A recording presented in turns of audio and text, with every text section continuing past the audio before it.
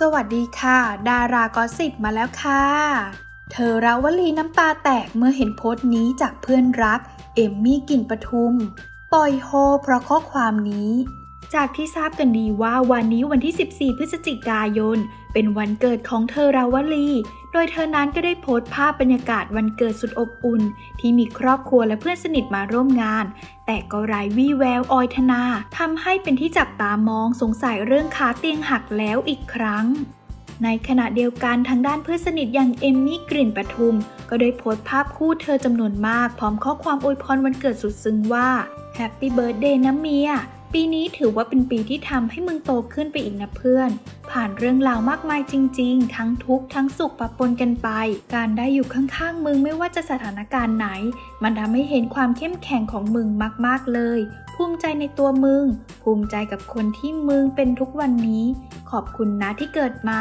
ขอบคุณที่เดินทางโคจรมาเจอกันเป็นเพื่อนกัน ขอบคุณที่อยู่เคียงข้างกูเสมอ จะผิดจะถูกก็รู้ว่ามึงหนุนหลัง support อยู่เสมอ ขอบคุณที่สร้างวีรกรรมบ้าบอกับกูทุกที่ที่ไป ขอบคุณที่มึงทำให้รู้ความหมายของคำว่าเพื่อนที่แท้จริง Hashtag เอาอะไรแลกก็ไม่ยอม ขอให้ปีนี้มึงมีแต่สิ่งดีๆ เข้ามานะ ประสบความสำเร็จในทุกๆ เรื่องที่มึงหวัง ล้อมรอบด้วยคนที่รักมึงอย่างเช่นทุกวันนี้เสมอไป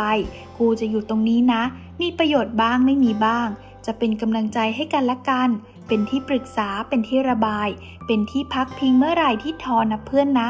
รักมึง รักมึงที่สุดแอดเลซี่เธอโดยเธอเข้ามาคอมเมนต์ว่าน้ำตาแตก ขอบคุณสำหรับทุกๆ อย่างนะเมีย ขอบคุณที่อยู่ข้างๆ กูตลอดเหมือนกันนะเมีย จะทุกข์จะสุขจะมีกูเสมอเหมือนกัน รักนะเพื่อน